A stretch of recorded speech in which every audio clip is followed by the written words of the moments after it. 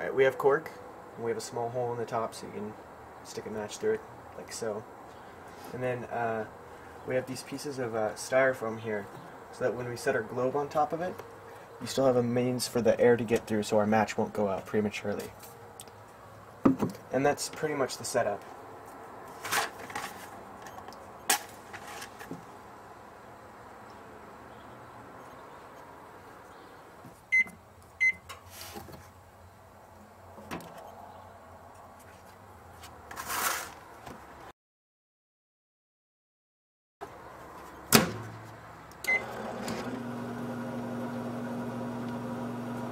Right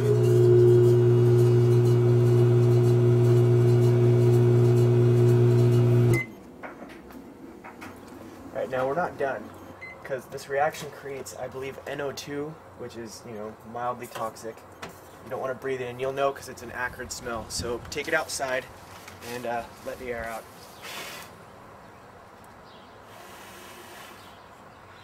Yeah, don't breathe it in. You don't want to.